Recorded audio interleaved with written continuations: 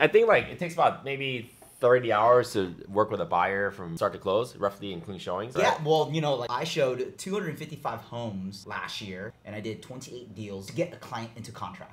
And a showing is like less than half an hour. Yeah, Uh, 15 much. minutes, 18 minutes, and then they're usually in the same neighborhood, like cluster. Yeah. And Buyer's you're, consult, yeah. all the other contract walking So, disclosure review. I mean, yeah, if we had to say 30 minutes per home, that's nine homes. What is that? I'm not good at math here.